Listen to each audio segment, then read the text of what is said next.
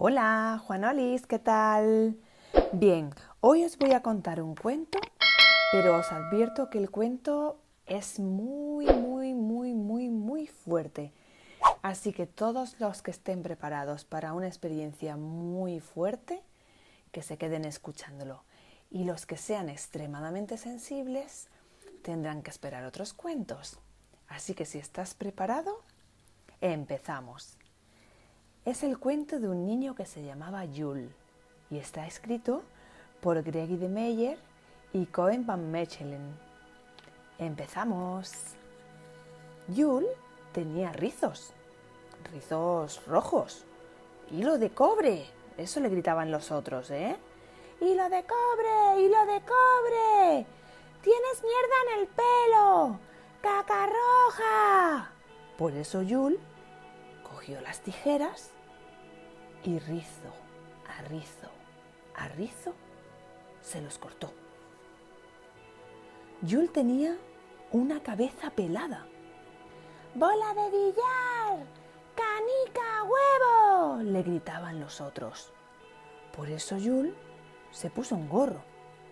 El gorro se apoyaba en las orejas que sobresalían y los niños gritaban ¡Orejas de soplillo! ¡Dumbo!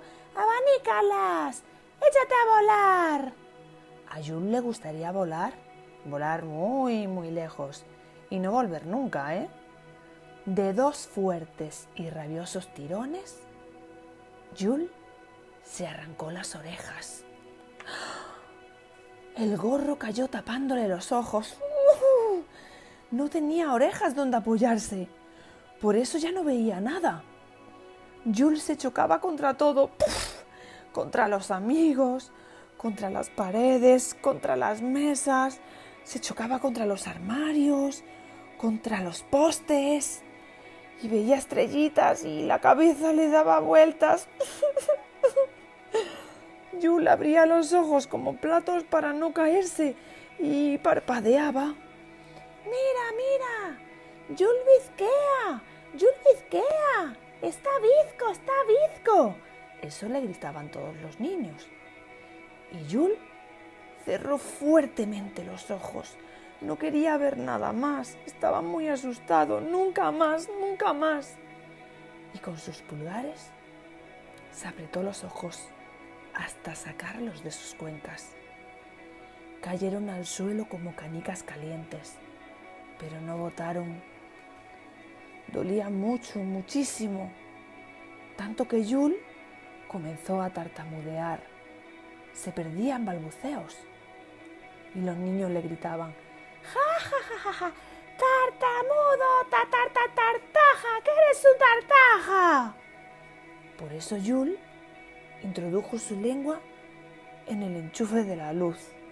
Siempre lo estaban insultando. La mitad de su boca estaba quemada y su lengua desapareció. Encuentro mal. Jules se tambaleaba de dolor. Iba sin rumbo de un lado para otro. Parecía como si sus piernas le fallaran. ¡Patas torcidas! ¡Jules tiene las patas torcidas! le gritaban todos a coro. ¡Patizambo! ¡Desgraciado! Y Jules se fue derecho a las vías del tren puso las piernas en los raíles.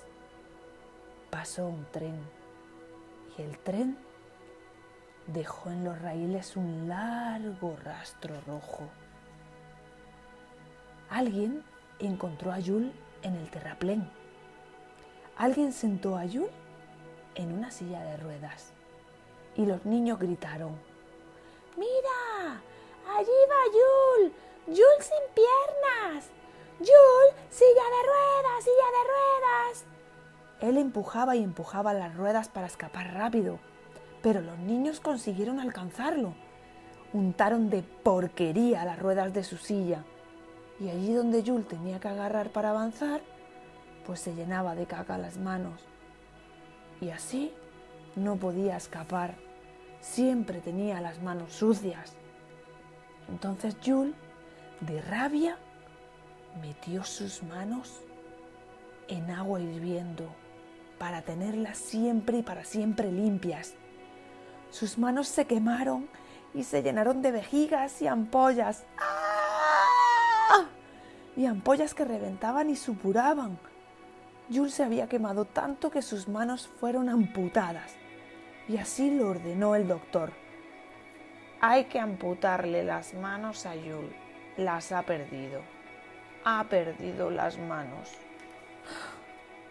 ¡Mira! gritaban los otros cuando lo veían. ¡Jules tiene brazos de salchicha! ¡Jules salchicha! ¡Jules salchicha! gritaban todos. Entonces Jules se hizo llevar al zoo. Allí metió uno de sus brazos entre los barrotes de la jaula de los leones. El león de un enorme bocado ¡aún! arrancó el brazo de Jules. ¡Ah! El otro brazo, Jules lo metió entre las puertas del ascensor. Y no sintió nada cuando su brazo quedó atrapado en el primer piso. Nada de nada. Jules solamente tenía su cuerpo y los niños le gritaban, ¡Qué pena de torso! ¡Qué pena de cuerpo! Si no lo tuviera, podríamos jugar al fútbol con la cabeza. Y entre todos tiraron de Jules hasta que su cabeza se separó del torso. Pero era difícil jugar al fútbol con la cabeza de Jules. No botaba bien. Era posible lanzarla, pero chutar resultaba difícil. Incluso se falló un penalti.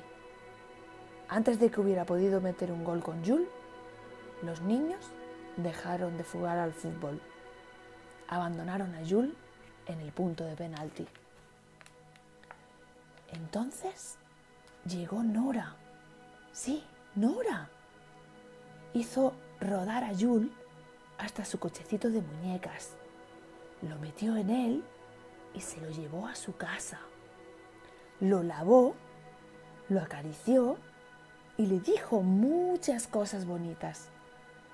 Nora puso a Jules en la silla de muñecas y después de mirarlo un largo rato, le preguntó, ¿Qué es lo que te ha pasado?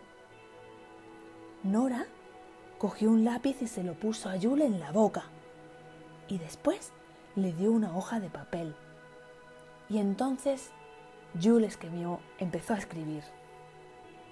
Yo tenía rizos, rizos rojos y los de cobre. Eso, eso gritaban los otros. Y lo de cobre, que tienes mierda en el pelo caca roja. Por eso cogí las tijeras y rizo, a rizo, a rizo, me los corté. Y así comenzó Yul contando la terrible historia de un niño que por ser diferente llegó a hacerse tanto daño porque quería contentar a sus amigos. Y esa no es la solución. La solución es el respeto, porque todos somos diferentes y nadie, absolutamente nadie, es perfecto en esta vida.